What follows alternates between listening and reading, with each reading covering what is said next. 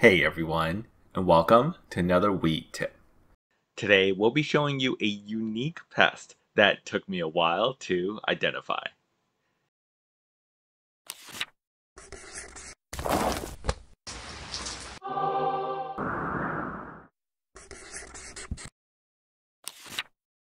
So I have a grow space that's located in an outdoor shed, and oftentimes this is the one that gets random pests eating my plants even though it's still located in a sealed grow tent, as they're able to sneak in when I leave the doors open to work on the plant.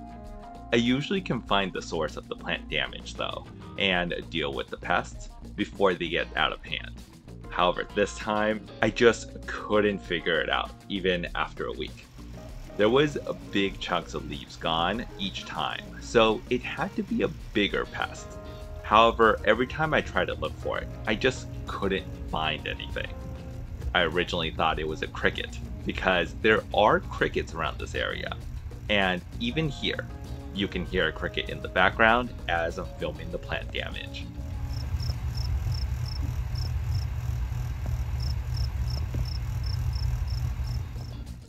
After taking all the plants out and looking for a cricket under water catch tray, I didn't find anything, so I figured maybe it's gone.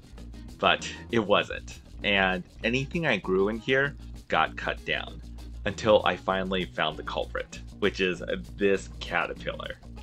Now, I covered caterpillars in the past, and I believe I even dealt with this specific type of caterpillar before but they were always found on larger plants, so I didn't know that if they're near a seedling, they'll actually cut down the main stem and then burrow into the ground to slowly nibble on the leaves under cover. These cutworms, which will eventually turn into a moth, will typically only come out at night to feed, and then hide all day during the daylight hours making them a lot more difficult to spot. And I only found this one because I turned on the lights during the night cycle to see if I can figure out what was eating these plants. Removal of these, if you can find them, is to just plug them off. Otherwise, adding diatomaceous earth around the base of the plant will work as well in killing off any cutworms in the ground.